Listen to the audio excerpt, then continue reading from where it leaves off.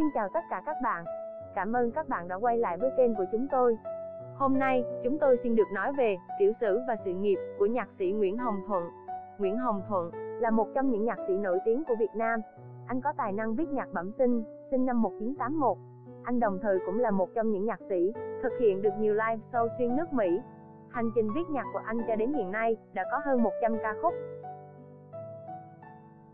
Tiểu sử nhạc sĩ Nguyễn Hồng Thuận Tên thật Nguyễn Hồng Thuận Sinh năm 1981 Quê quán Thành phố Hồ Chí Minh Nơi sinh sống Thành phố Hồ Chí Minh Nghề nghiệp nhạc sĩ Tuổi thơ của Nguyễn Hồng Thuận trải qua nhiều thiệt thòi Gia đình Nguyễn Hồng Thuận có khá đông anh chị em nên việc theo đuổi âm nhạc đối với anh là rất khó khăn. Mỗi khi đến trường văn hóa, thay vì đến lớp học, anh lại lén học lớp âm nhạc, rồi tự về mày mò, viết nên những bài nhạc đơn giản. Tuy nhiên để theo đuổi ước mơ, Nguyễn Hồng Thuận phải nhọc nhằn nhiều hơn. Tình trạng hôn nhân của nhạc sĩ Nguyễn Hồng Thuận Cho đến hiện tại, anh chàng nhạc sĩ tài năng Nguyễn Hồng Thuận vẫn im hơi lặng tiếng về chuyện hôn nhân. Có một thời gian anh bày tỏ về chuyện tình cảm như sau là do người tôi yêu trước đây ở ngoài biết nên mọi người ít biết và tôi cũng ngại công bố. Ở thời điểm hiện tại, việc tìm một người để yêu thật sự không khó. Nhưng cái khó chính là, bản thân tôi đã không còn dễ mở lòng ra để tìm hiểu, cũng như chào đón ai đó, bước vào thế giới của mình như trước. Nếu như tuổi 20, tình yêu là tất cả với tôi, không yêu chắc sẽ chết, thì ở thời điểm này, chỉ có thiếu đồ ăn, thiếu oxy, tôi mới chết thôi. Với sự bày tỏ trên, thì hiện tại nhạc sĩ Nguyễn Hồng Thuận vẫn đang trong tình trạng độc thân.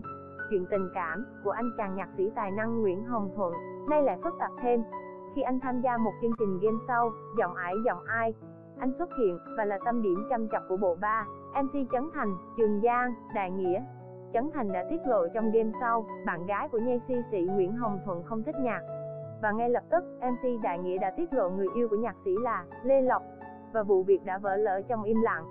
Nhưng khi hỏi đến vụ việc nghi vấn này, thì Nguyễn Hồng Thuận lại phủ nhận. Tính đến hiện tại, nhạc sĩ đã 40 tuổi, và vẫn độc thân. Anh cũng vướng khá nhiều xì căng đang về chuyện tình cảm như yêu Lê Lộc, các người đẹp showbiz, đến nghi là người đồng tính. Sự nghiệp làm âm nhạc của nhạc sĩ Nguyễn Hồng Thuận với hơn 15 năm trong nghề sáng tác nhạc, đến nay Nguyễn Hồng Thuận đã có hơn 100 ca khúc. Nguyễn Hồng Thuận từng có thời gian hát trong nhóm Sweet với sự hướng dẫn của nhạc sĩ Tuấn Khanh. Đến năm 2006, Nguyễn Hồng Thuận đã tham gia vào một vòng công diễn live show bài hát Việt cùng với ca khúc Làn khói mong manh. Hiện tại, anh vẫn đang sáng tác nhiều bài hát hot hit. Cái tên Nguyễn Hồng Thuận đang là hiệu ứng quen thuộc trên những bảng xếp hạng với nhiều giải thưởng. Cụ thể là những danh sách được đề cử, giải Mai Vàng 2008, gồm có 6 ca khúc, 2 ca khúc giải về nhạc sĩ, còn 4 ca khúc do người thể hiện là Đàm Vĩnh Hưng và Nhật Tinh Anh. Những ca khúc của anh sáng tác đều để lại cho khán giả sự lãng mạn, ngọt ngào, gần gũi.